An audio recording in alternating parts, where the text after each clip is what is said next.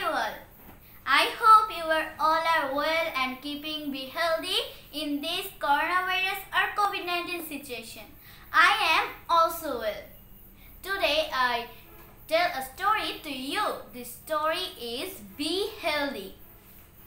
Shima, what are you doing, Nasrin? Nasrin, I am putting some chocolate on my ice cream. Ice cream is delicious with chocolate. Shima, well, it's look very tasty and good. But you shouldn't eat a lot of ice cream or chocolate. Nasrin, of course, I do not eat them regularly. Shima, what kind of vegetables or fruit you eat? She, Nasrin, oh, fruits and vegetables.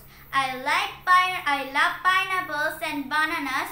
They are my favorites. I ate cucumbers and lettuce a lot too.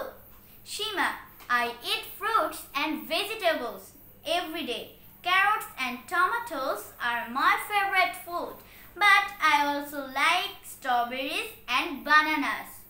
Nasrin, would you like to try some of my ice cream with chocolate? We should eat it quickly. It will melt soon in this hot weather. Shima, okay, thanks.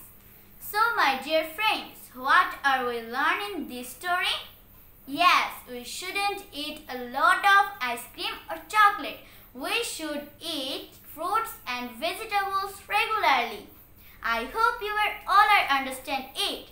Thanks all of you for watching my video.